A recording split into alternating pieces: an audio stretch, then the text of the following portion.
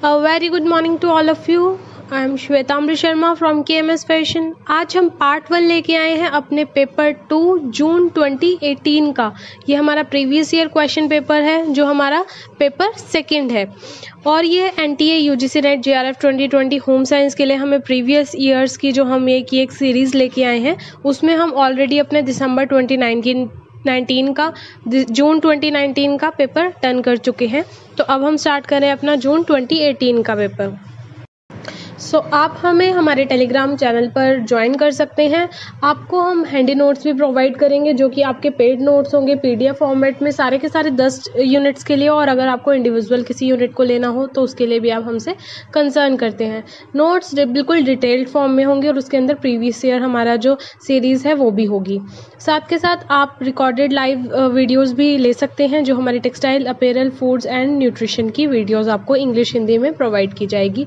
और कोई भी क्वेरी है तो please mail us on three K M S fashion at the rate Gmail dot com पर सो आज का हमारा फ़र्स्ट क्वेश्चन है during fever with every 18 degree Fahrenheit increase in body temperature the basal metabolic rate changes by कि जब भी हमें fever होता है तो हमारा 18 डिग्री इंक्रीज होता है बॉडी टेम्परेचर तो हमारा बी एम आर कितना चेंज होता है? Options are seven percent increase seven percent decrease five percent increase और फाइव परसेंट डिक्रीज ये हमारा लास्ट टू थाउज़ेंड फोर से लेके टू थाउज़ेंड एटीन तक दो बार क्वेश्चन आ चुका है रिपीटेड फॉर्म में. सो इंपॉर्टेंट क्वेश्चन है। सो करेक्ट ऑप्शन है हमारा first that is seven percent increase क्यों होता है? क्योंकि सेवन परसेंट इंक्रीज होता है फीवर के अंदर with every one Fahrenheit degree Fahrenheit मतलब हर एक डिग्री फेरनहाइट इंक्रीज होता है। कितना? सात इंक्रीज सात परसेंट तक वो इंक्रीज करता है। और unit of temperature measurement increase in body temperature the basal metabolic rate change normal body temperature को क्या कंसीडर करते हैं? Thirty seven degree Celsius that is ninety eight point six degree Fahrenheits pyrexial oral temperature exceed करता है 37.5 degree Celsius rectal temperature 38 degree Celsius hyperpyrexia 41.1 degree Celsius और hypothermia 35 degree Celsius. आपने देखा होगा कि क्वेश्चन सिर्फ़ ये पूछा था, लेकिन आपको ये इतने सारे ऑप्शंस भी और जानने को मिले हैं। तो यस हम लोग आपको जो है सिर्फ़ आपका एक ऑप्शन को नहीं एक्सप्लेन करते, पहली बात सारे ऑप्शन को एक्सप्लेन करेंगे और साथ के साथ जो उससे रिलेटेड चीज़ होगी, उन सब चीज़ों के बारे में भी देंगे। तो आप क्या पता मोल्ड करके वो किसी और चीज़ के बारे में हमसे इस बार पूछ ले।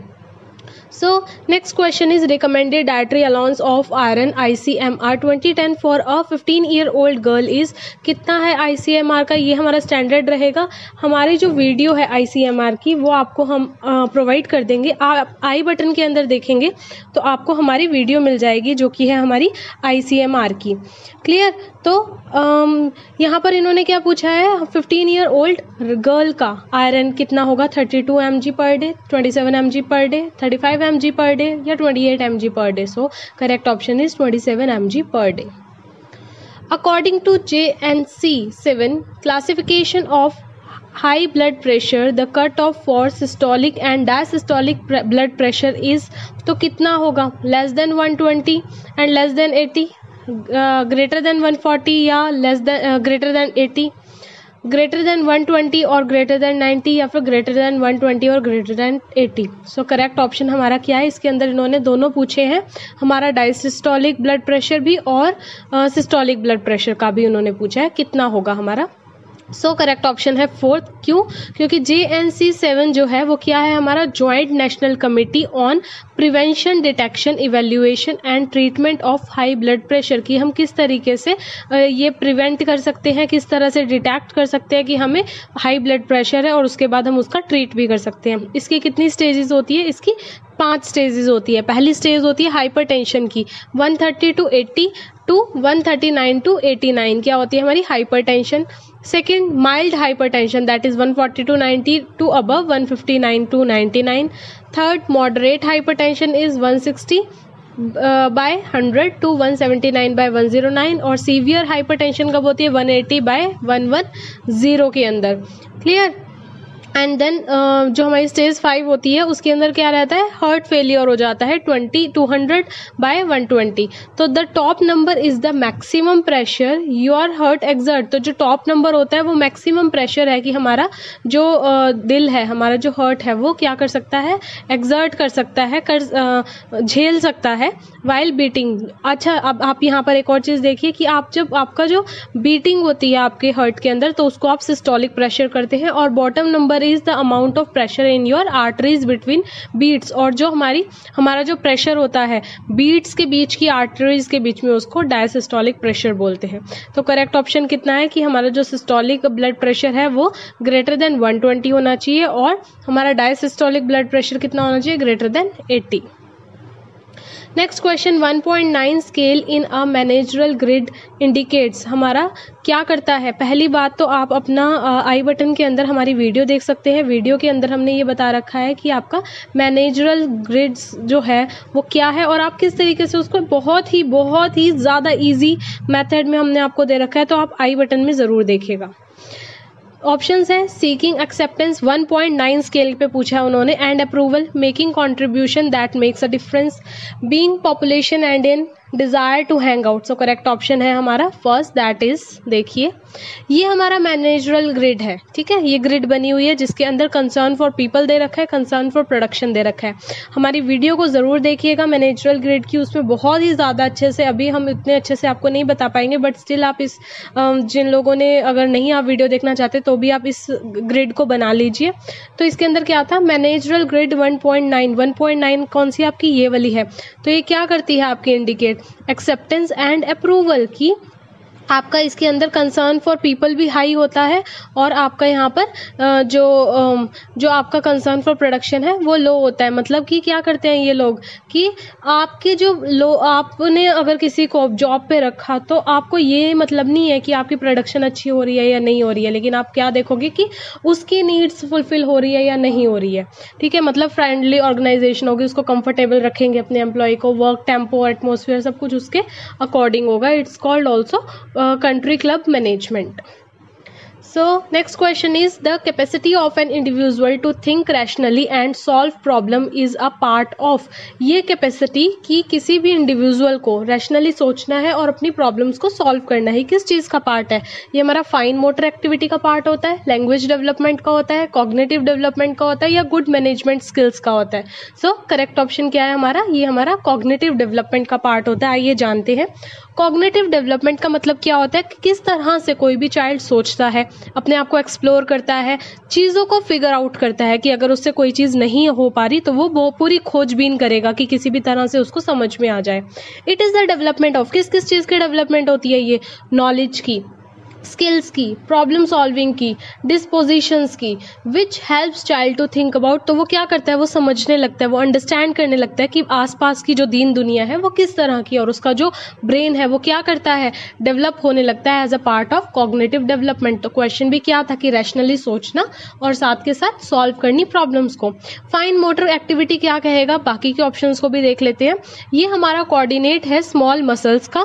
Movement usually involve in synchro synchronization of hands and finger with eyes की हमारी फाइन मोटर एक्टिविटीज़ क्या काम करती है? कि हमारे हाथ और हमारी फिंगर्स आई के साथ सारी सिंक्रोनाइज होके हमारी स्मॉल मसल्स जो है वो सही से कोऑर्डिनेट कर रही है मूवमेंट्स में या नहीं कर रही। लैंग्वेज डेवलपमेंट के अंदर क्या होता है? चाइल्ड अंडरस्टैंड करता है और कम्युनिकेट करता है लैंग्वेज को अपनी चाइल्डहुड के अंदर। और गुड मैनेजमेंट स्किल्स कौन सी होती है? कि कोई भी ऑर्गेनाइजेशन है, उसके अंदर हम अगर काम कर रहे हैं तो हम उसके सक्सेस के लिए, उसके गोल्स और ऑब्जेक्टिव्स को अचीव करने के लिए क्या करेंगे? करेंगे काम करेंगे।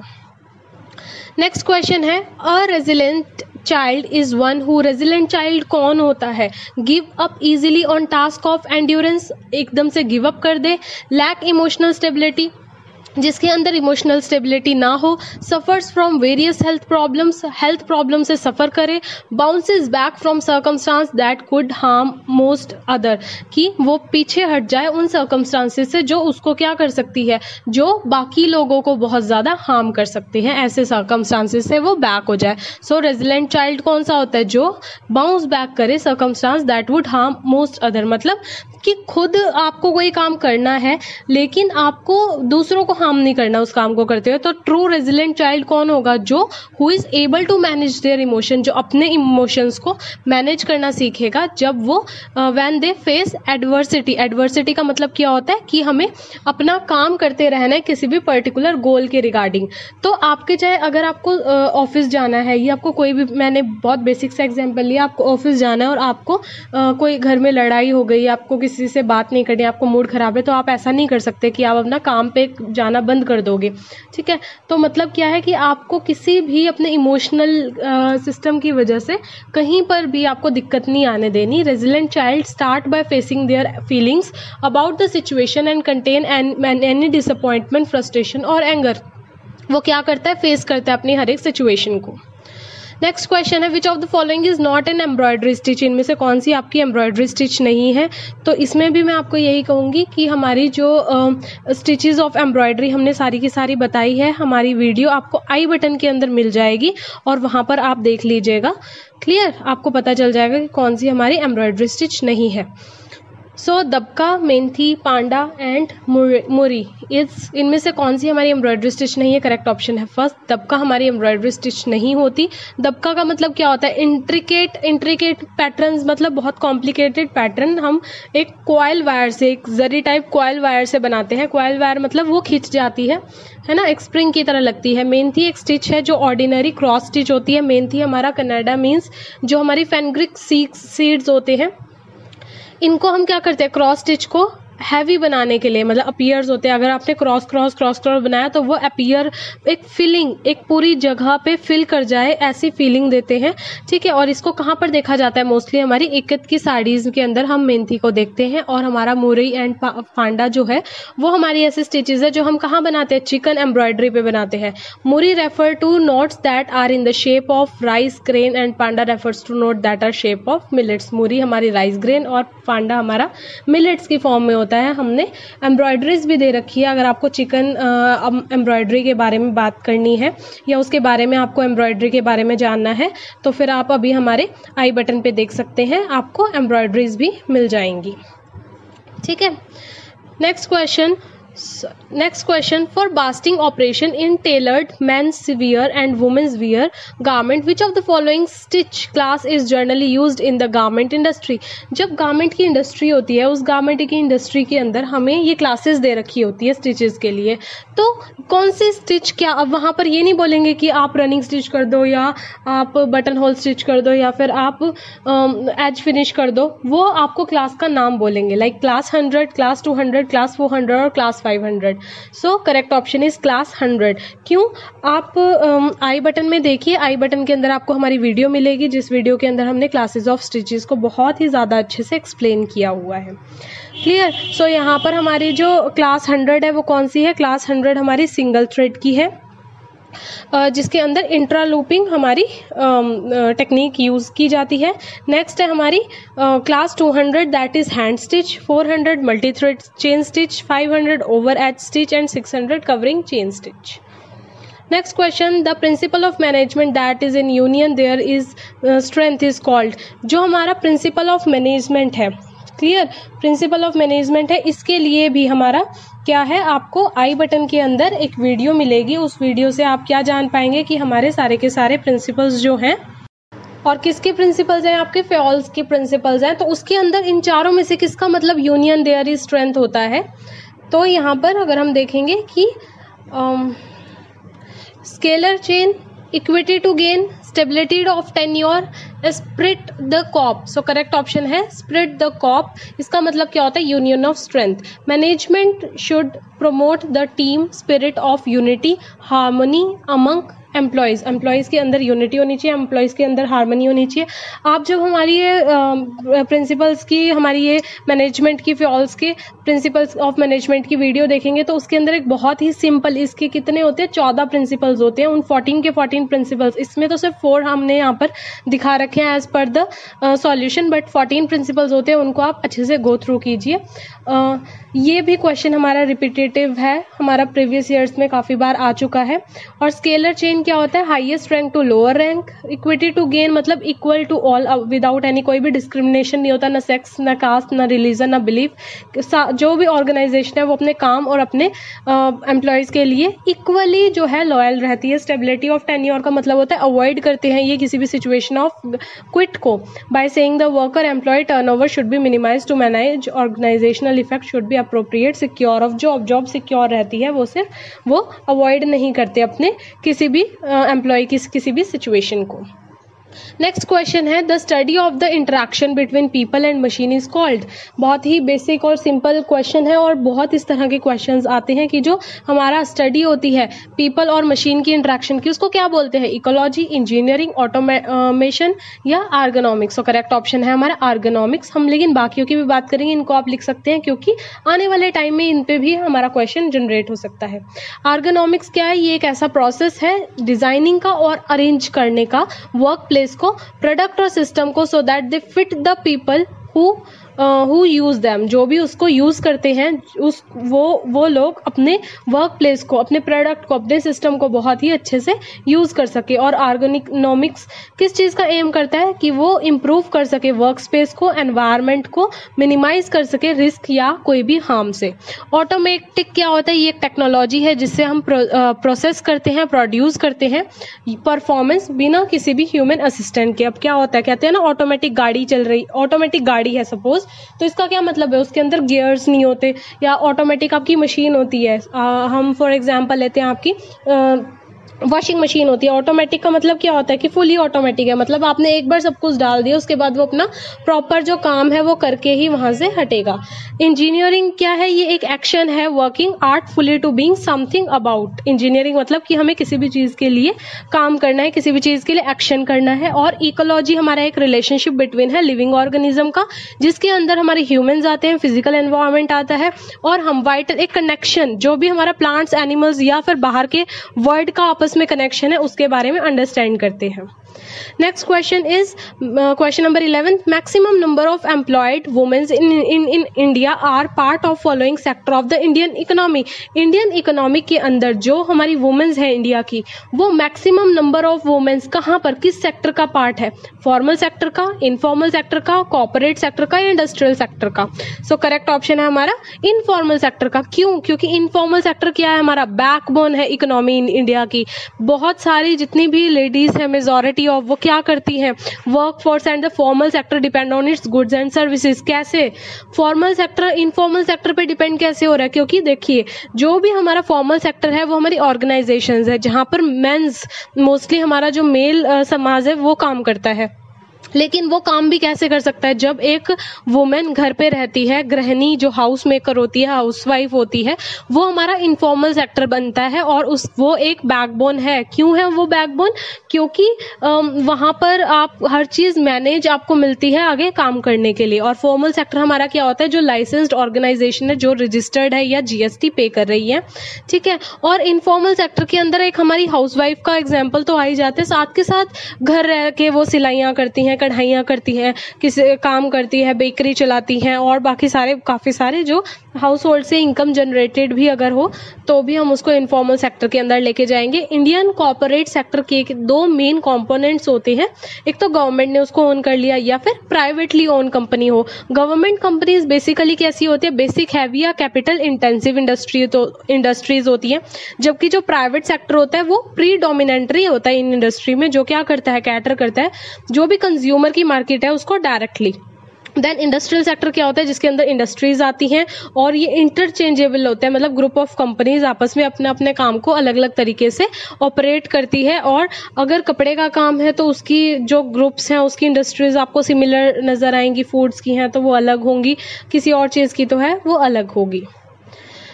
Then question number twelfth is advantage of writing communication are return communication return communication क्या, उसकी एडवांटेज क्या होती है? अब रिटर्न कम्युनिकेशन की अब सपोज़ कीजिए मैं आपसे इस टाइम कम्युनिकेट कर रही हूँ तो मैं कैसा कम्युनिकेट कर रही हूँ आपको? बोल कर कर भी, है ना? आप लिसन भी कर रहे हो और साथ में आपको रिटर्न भी चीज़ मिल रही है सामने। So it serve as an evidence reduce ambiguity enable authority या इनेबल यूनिफॉर्मिटी तो इनके अंदर से हमें बताना है सो करेक्ट ऑप्शन है हमारा fourth that is A B and D क्या होता है रिटर्न कम्युनिकेशन के अंदर का क्या मतलब है कि हम किसी भी मैसेज को लिख के भेज रहे हैं? अब कहते हैं ना कि किसी ने बोल के बोल दिया कि आपको जॉब मिल जाएगी तो हम बोलते हैं उसको नहीं ऑफ़र लेटर दो मीन्स लिख के दो। क्यों? क्योंकि वो एक मैसेज हमें मिल जाएगा एक ऑर्डर मिल जाएगा एक इंस्ट्रक्शन मिल जाएँगे चाहे वो लेटर हो सर, सर्कुलर करिकुलर हो मेन्यू मैन्यूअल्स हो रिपोर्ट हो टेलीग्राम हो ऑफ़िस मेमोज बुलेटिन एटसेट्रा ये एक फॉर्मल मेथड होता है हमारा कम्युनिकेशन करने का और ये बहुत कम फ्लेक्सिबल होता है। अगर जब हम फॉर्मली बात करते हैं तो और रिटर्न रिटर्न डॉक्यूमेंट्स क्या होता है? प्रिजर्व कर सकते हैं हम। किसी का बोले हुए सेंटेंस को हम नहीं उसको रख सकते। आ, कोई भी नहीं मानता है। जो हमारी इंडियन ज्यूरी है जो जस्टिस है कोर्ट है वो भी नहीं मानती वो भी रिटर्न डॉक्यूमेंट्स को एविडेंट मानती है। सो so, वो परमानेंट रिकॉर्ड हो जाता है किसी भी फ्यूचर रेफरेंस के लिए। लीगल एविडेंस होता है वो एक इट वो टाइम कंज्यूमिंग होता है। अब एक बात मेरे को जहाँ पर आपको बोलनी है सिर्फ़ तो वो बहुत आसान होता है कि आज मेरे घर पर आ जाना। एज कंपेरेटिव टू मैं उसको टाइप करूँगी और उसके बाद ये आप कहीं पर लिख के आप तक पहुंचाऊँगी। कॉस्टली कॉस्टली होता है और अनसूटेबल होता है कॉन्फिडेंशियल और इमरजेंट कम्युनिकेशन के लिए रिटर्न कम्युनिकेशन क्या होनी चाहिए? इफ़ेक्टिव होती है ये वो क्लियर हो कंप्लीट हो कॉन्शियस हो करेक्ट हो और कर्चियस हो। So one two three four five क्या बोलेंगे इसको? फाइव सीज हमारी कम्युनिकेशन के अंदर फाइव सीज आते हैं सो so ये भी हमारे फाइव सीज है। नेक्स्ट क्वेश्चन है researcher wants to test the social social association of female literacy on infant feeding practice जो भी हमारे हमारे रिसर्चर क्या कहते हैं कि वो टेस्ट करना चाहता है फीमेल की लिटरेसी पे कि इन्फेंट की फीडिंग प्रैक्टिस क्या, कितनी पता है उसको, कौन सा टेस्ट हम उसके लिए अप्रोप्रिएट होगा? F test chi square test T test या Mann Whitney test so correct option है second that is chi square test आइए देखते हैं किस तरह से होगा। क्योंकि एक्सप्लेनेशन है, हमारी पैरामीट्रिक टेस्ट जो होगा, वो क्या होगा? जिसको हम इंफॉर्मेशन देते हैं पॉपुलेशन पैरामीटर्स का और नॉन पैरामीट्रिक टेस्ट कौन सा होता है, जिसके अंदर रिसर्चर को कोई आइडिया भी नहीं होता कि कितनी पॉपुलेशन पैरामीटर है। टी टेस्ट कौन सा होता है? सबसे पहले जो हमारा है ये टेस्ट कि हम इसको किस चाय स्क्वायर टेस्ट से देखेंगे। तो ये कार्ल पर्सन ने दिया था नॉन पैरामीट्रिक टेस्ट होगा। नॉन पैरामीट्रिक टेस्ट मतलब जिसके अंदर कोई आइडिया नहीं है पॉपुलेशन पैरामीटर का अब यहाँ पर हम चाय स्क्वायर टेस्ट क्यों अप्लाई करेंगे? क्योंकि इन्होंने फीमेल लिटरेसी बोला है। अब इतनी दुनिया में फीमेल्स है, जिनके इन्फेंट्स है। अब उन सब की प्रैक्टिस तो ये एक एन नंबर ऑफ़ हमारी क्या हो गई? एन नंबर ऑफ़ पॉपुलेशन हो गए। सो ये नॉन पैरामीट्रिक टेस्ट है। इसके अंदर कोई आइडिया नहीं है रिगार्डिंग द पॉपुलेशन के पैरामीटर्स का। सैंपल एनालिसिस करते हैं testing significance of population variance use of test of goodness of its R square used simple random sampling method अब क्या होगा कि मैं किसी भी कम्युनिटी में जाऊँगी, किसी भी सोसाइटी के अंदर जाऊँगी और मैंने रैंडमली वहाँ से इन्फेंट्स जो हो जिनके इन्फेंट्स हो, उन मदर्स को मैंने पिक कर लिया और उसके बारे में देखा और ये लाइक इसके बिटवीन होता है ज़ीरो टू वन होता है। मैनहेटन टेस्ट भी हमारा नॉन पैरामीट्रिक टेस्ट है, लेकिन इसको किस लिए यूज़ किया जाता है? इसको कंपेरिजन के लिए यूज़ किया जाता है sample मैन्यूज that come from the same population and use to test whether two samples measures are equal और नॉट ये सिर्फ़ इक्वल है, दो सैम्पल्स या नहीं है, इसके बारे में ढूँढने के लिए इस बा, इसके बारे में जज करने के लिए हम विटनेस विटनर टेस्ट को यूज़ करते हैं। टी टेस्ट जो होता है हमारा स्मॉलेस्ट टेस्ट होता है ये जिसमें ये लेस देन थर्टी सैम्पल्स होते हैं हमारे। लेकिन हमारा ये टेस्ट क्यों नहीं होगा? क्योंकि हमारा सैम्पलिंग इतनी कम नहीं है इसकी और इसने किसको, किसने इसको डेवलप किया था? विलियम्स गोसेट ने किया था और इसको हम स्टूडेंट टी टेस्ट के नाम से भी जानते हैं। डिग्री ऑफ़ फ्रीडम जो है इसमें V is equal to N minus one है। To test the hypothesis that correlation coefficient in population is zero then we use T test जब हमें ये टेस्ट करना हो कि जो हमारा हाइपोथिस है, वो को रिलेट है कोफिशियंट इन जो हमारी पॉपुलेशन में कोफिशियंट है, वो ज़ीरो है, तब हम इसको यूज़ करते हैं और इसको पॉपुलेशन वेरियंस इज़ अननोन जब हमारी पॉपुलेशन वेरियंस भी अननोन हो और एफ़ टेस्ट को हम यूज़ करते हैं डिज़ाइन टू टेस्ट इफ़ दो पॉपुलेशन वेरियंस हमारी कैसी हो इक्वल हो। ठीक है ये दो इंडिपेंडेंट पॉपुलेशन वेरियंस का होता है और स्मॉल हमारा सैंपल टेस्ट होता है। सो so, इसके लिए हमारा करेक्ट ऑप्शन क्या था? Chi square test next question है to test the impact of mid day meal program M D M तो आप यहाँ से फुल फॉर्म भी उठा सकते हैं और ये टेस्ट uh, से रिलेटेड एक दो क्वेश्चन आ जाते हैं। इसका nutritional status of school childrens the height and weight of childrens were measured before the start of M D M program and six month after the program वो started तो इन्होंने क्या किया कि मिड डे मील चालू किया था। तो मिड डे मील के अंदर उन्होंने न्यूट्रिशनल स्टेटस देखना था स्कूल के अंदर। तो उन्होंने क्या किया? हाइट और वेट माप ली बच्चों की। ये मिड डे मील शुरू करने से पहले और उसके बाद छः महीने के बाद दोबारा गया और दोबारा से उनकी हाइट और वेट मापी। अब उनको कौन सा टेस्ट लगाना है जिसमें वो रिज़ल्ट निकाल पाए? T test pair T test chi square test या sign test so correct option क्या है हमारा? सेकंड सेकंड क्या है? पेयर्ड टी टेस्ट लगाएँगे। पेयर टी टेस्ट क्यों लगाएँगे? पेयर टी टेस्ट के बारे में पढ़ते हैं। ये हम यूज़ करते हैं कंपेयर दो पॉपुलेशन मीन्स के मतलब दो पॉपुलेशन मीन्स के बीच के बीच की जो हमारी डिफरेंस होता है, उसको कंपेयर करने के लिए काम आता है, जहाँ पर दो samples in which observer in one sample can be compare paired with observation in the other sample उसके अंदर क्या था कि बच्चों का हाइट और वेट को उन्होंने मिड डे मील शुरू करने से पहले किया था और उसके बाद मिड डे मील शुरू करने के बाद छह महीने बाद किया। तो बिफोर और आफ्टर की ऑब्जर्वेशन के लिए, जब सेम ऑब्जेक्ट होगा मतलब अब आपका अगर राम, श्याम, गीता, सीता, ये चार बच्चों का उन्होंने छह महीने पहले और छह महीने बाद टेस्ट करना है तो आपका जो पॉपुले आपका जो पॉपुलेशन है, आपका जो सैंपल है सैंपल तो नहीं चेंज हुआ। तो जब किसी भी एक पर्टिकुलर सैंपल के बिफोर और आफ्टर ऑब्जर्वेशन को हमें जज करना होगा ठीक है? तो हमें क्या करना होगा? पेयर टी टेस्ट लगाना होगा। For example student diagnostic test result before and after a particular module और कोर्स जैसे कि किसी भी स्टूडेंट के बारे में अगर आपको बिफोर और आफ्टर का टेस्ट हो तो आपको उसमें पेयर टी टेस्ट अप्लाई कर देना है। क्लियर बाकी टेस्ट की भी बात कर चाहे चाहे स्क्वायर टेस्ट हम देख चुके हैं। टी टेस्ट भी हमने अभी अभी पढ़ा ही था पीछे और साइन टेस्ट जो है, उसके बारे में बात करते हैं। ये हमारा नॉन पैरामीट्रिक या डिस्ट्रीब्यूशन फ्री टेस्ट है। ये हमारा स्टेटिस्टिकल टेस्ट है, जिसको हम कंपेयर करते हैं किसी भी साइज़ ऑफ़ टू ग्रुप्स को, और alternate to a one sample T test and और अ पेयर टी टेस्ट इसको हम पॉजिटिव और नेगेटिव साइंस के साथ पेयर करते हैं। क्लियर नेक्स्ट क्वेश्चन है the following serum parameters in biochemical evaluation of blood are indication of liver disorders इनमें से कौन से हमारे सीरम पैरामीटर्स जो है बायोकेमिकल इवेल्युएशन के ब्लड के अंदर वो इंडिकेट करते हैं कि लीवर हमारा डैमेज हो चुका है लीवर का डिसऑर्डर हो चुका है नॉट डैमेज वो उसका डिसऑर्डर चल रहा है. सो सीरम बेल्यूरोबिन एलिवेटेड जो हमारा सीरम ब्लूरोबिन होता है वो एलिवेट हो गया है। S G O T S G P T lower हो गया है। सीरम हमारा एल्ब्यूमिन लोअर हो गया है या ग्लोब्यूलर एलिवेट चढ़ चुका है एलिवेट हो गया है।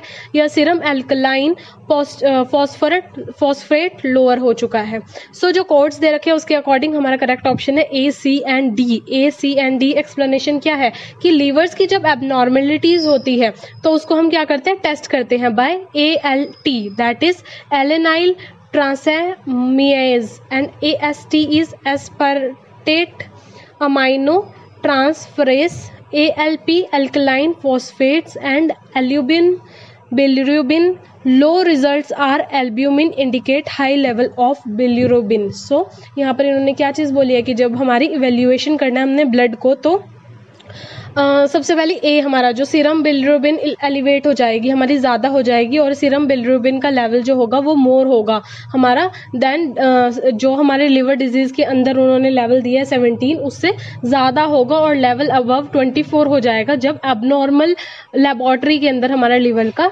टेस्ट आएगा। सो करेक्ट ऑप्शन हमारा C and D is serum albumin albumin low हो जाएगा और ग्लोबलिन जो हमारा ग्लोब्यूलिन है, वो एलिवेट हो जाएगा। Next following are the symptoms of diabetic mellitus diabetic mellitus के कौन कौन से सिम्टम्स होते हैं? सो ऑप्शन दे रखे हैं पॉलीयूरिया पॉलीडाइप्सिया हाइपोग्लाइसीमिया हाइपरग्लाइसीमिया या हाइपोफेगिया सो करेक्ट ऑप्शन है हमारा। Third that is A B and D polyuria polydipsia and hyperglycaemia कैसे?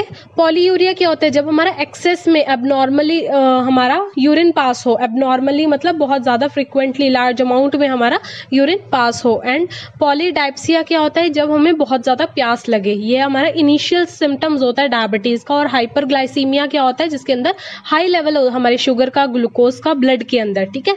तो ब्लड शुगर लेवल क्या हो जाए? बढ़ जाए। और ये कब अकर होता है? जब बॉडी डज नॉट प्रोड्यूस और यूज़ एनफ इंसुलिन तो जब हमारी शरीर ना ही क्या करती है? यूज़ नहीं कर पाती हमारा इंसुलिन को प्रॉपर तरीके से और हमारा को एनर्जी नहीं दे पाती। तब हमारा क्या होता है? हाई ब्लड शुगर हो जाता है जो हमारा मेन इंडिकेटर है बींग डायबिटिक हाइपोग्लाइसीमिया अब हम दोनों ऑप्शन देख लेंगे। हाइपोग्लाइसीमिया और हाई हाइपोफेगिया क्या होता है? ये कंडीशन होती है हाइपोग्लाइसीमिया जिसके अंदर ब्लड शुगर लेवल हो कम होता है नॉर्मल से। सो so, हम यहाँ पर क्या है? डायबिटिक मेलेटस बोल रहे थे जिसमें ज़्यादा हो तो ये कम का ऑप्शन है। और हाइपोफेगिया क्या है? जिसके अंदर हमारा फ़ूड इनटेक और ईटिंग बिहेवियर क्या हो जाए? रिड्यूस हो जाए, कम हो जाए। नेक्स्ट क्वेश्चन है हमारा following nutrients are required for an efficient immune response हमारा कौन कौन से न्यूट्रिएंट्स हमें बहुत ज़्यादा ज़रूरी हो, जिसकी वजह से हमारा जो इम्यून सिस्टम है, वो बहुत ही ज़्यादा अच्छा हो जाए? Vitamin A zinc calcium protein या थायमाइन सो करेक्ट कोड जो है, वो है हमारा third that is A B and D vitamin A हमें चाहिए जिंक हमें चाहिए और हमें प्रोटीन जो है वो हमें असेंशियल है। मतलब हमें बहुत ही ज़्यादा एफिशिएंट है हमारे इम्यून को बढ़ाने के लिए इम्यून सिस्टम के लिए। कैसे? विटामिन ए हमारा माइक्रो न्यूट्रिएंट है, जो मेंटेन करता है विजन को प्रॉपर ग्रोथ एंड हमारी डेवलपमेंट को करता है और प्रोटेक्ट करता है एपिथीलियम और म्यूकस इंटीग्रिटी हमारी बॉडी के अंदर। इसको एंटी फ्लेमेशन और एंटी फ्लेमेशन विटामिन भी बोलते हैं, जो हमारे इम्यून फ़ंक्शन को एनहांस करता है। साथ के साथ जिंक जो है, वो स्लो डाउन करता है हमारी इम्यून के रिस्पॉन्स को, और ये भी हमारे इन्फ्लेमेशन को कंट्रोल करता है। और प्रोटीन क्या करता है? फ्रेम करता है हमारे सेल्स को। और बॉडी डिफिशेंस जो डिफिशेंस डिफेंस सिस्टम है एंजाइम्स को कंट्रोल करता है, कुछ हॉर्मोन्स को हमारे कंट्रोल करता है और हमें इम्यूनिटी भी देता है इम्यून अगेंस्ट हमारे इन्फेक्शंस के अकॉर्ड अगेंस्ट हमें इम्यून करता है। अगर हम कैल्शियम की बात करें तो वो एक मिनरल है जो हमारी लाइफ के लिए नेसेसरी है, जो हमारे बोन्स को बिल्ड करता है हेल्दी रखता है कैल्शियम हमारे ब्लड क्लोट के लिए भी ज़रूरी है और विटामिन बी वन जो है वो हमारा क्या करता है, हमारी कार्बोहाइड्रेट्स को एनर्जी के अंदर तब्दील करता है चेंज चेंज करता है और इसका मेन रोल क्या है कि ये हमारे कार्बोहाइड्रेट्स से हमारे शरीर को एनर्जी प्रोवाइड करता है मेनली हमारे ब्रेन और नर्वस सिस्टम को। अगला क्वेश्चन है following are anthropometric methods for assessment of nutritional status nutritional status के लिए कौन कौन से हमारे एंथ्रोपोमेट्रिक मेथड है? Haemoglobin estimation M U A C waist hip ratio urinary iodine measurements body mass index so यहाँ पर जो कोड्स के अकॉर्डिंग करेक्ट ऑप्शन है, वो रहेगा हमारा that is four B C E हमारा B M U A C क्या होता है हमारा ये? हमारा सबसे पहले तो हमारा एंथ्रोपोमेट्रिक मेजरमेंट्स क्या होते हैं? जो हमारी बॉडी की फ़िज़िकल मेजरमेंट्स होती है, उनको एंथ्रोपोमेट्रिक बोलते हैं। ये मेजरमेंट्स कौन सी होती है? हमारी height weight body mass index जिसको हम बी एम आई बोलते हैं बॉडी सरकमफ्रांस जिसको हम W waist hip and limbs बोलते हैं, और स्किन फोल्ड थिकनेस सो ये हमारा क्या है? हमारे एंथ्रोपोमेट्रिक मेजरमेंट्स हैं, जो आपने न्यूट्रिशनल हमारी मेजरमेंट्स हैं ए बी सी डी के नाम से जानते हैं। ए फॉर आपका एंथ्रोपोमेट्रिक मेज़रमेंट हो गया बी फॉर आपका बायोकेमिकल हो गया सी फॉर आपका केमिकल टेस्ट हो गए एंड डी फॉर आपका डायट्री इंटेक्स हो गए। सो so, आपको ये भी करना बहुत ज़्यादा इंपॉर्टेंट है।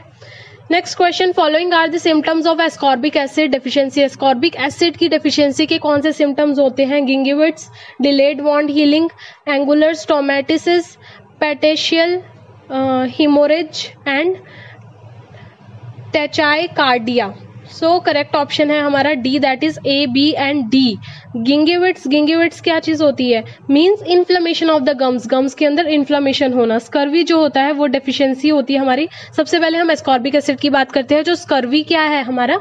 विटामिन सी की डेफिशिएंसी की वजह से होता है या फिर एस्कॉर्बिक एसिड की डेफिशिएंसी की वजह से होता है, जिसको हम विटामिन सी बोलते हैं और डेफिशिएंसी की वजह से क्या होता है? सिम्टम्स होते हैं वीकनेस एनीमिया गम डिज़ीज़ और स्किन प्रॉब्लम इन्हीं गम इन्फ्लेमेशन को हम गिंगेविट्स बोलते हैं. सो पहला सिम्टम्स हमारा ये है।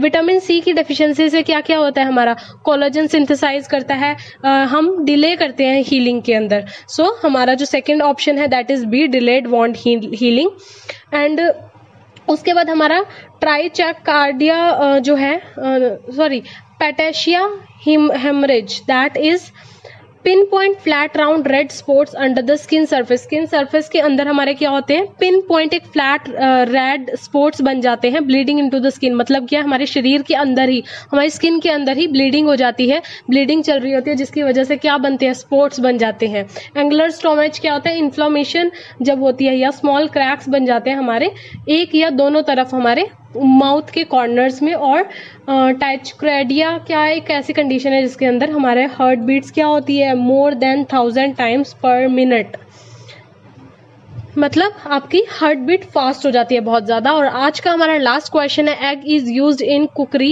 as egg को हम किस एज बींग क्या यूज़ करते हैं?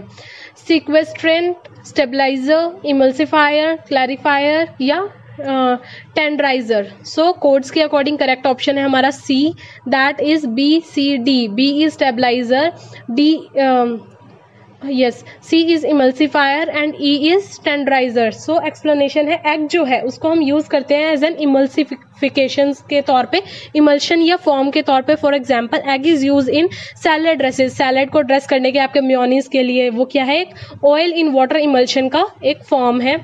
Egg while stabiliser is design to help किस लिए हेल्प करता है? ये हमारा एग वाइट की को प्रोड्यूस करने में उसकी वॉल्यूम को इंक्रीज करने में उसकी शेल्फ लाइफ को इंक्रीज करने में।